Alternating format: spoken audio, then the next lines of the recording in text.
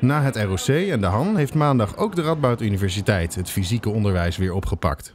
Veel studenten komen met het OV naar de campus van de instellingen en vele van hen doen dat met buslijn 10, de Heijendaal Shuttle. In het oude normaal zaten deze bussen vaak propvol. Nu viel dat mee, al was het toch nog aardig druk. De opleidingsinstanties proberen de drukte over de dag uit te smeren door verschillende starttijden te hanteren.